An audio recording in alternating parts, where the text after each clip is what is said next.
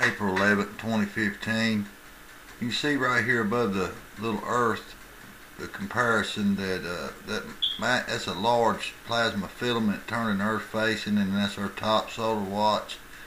Uh, if it was to release it, you know, it would uh, definitely uh, produce a CME, uh, somewhat earth facing.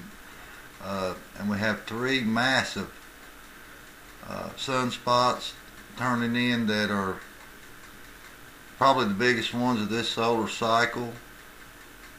And here you see that, well actually there's four of them, one's just now coming into view, but anyhow, it's just something to keep an eye on and I'll keep you updated with uh, any further developments and I'd like to thank you for watching.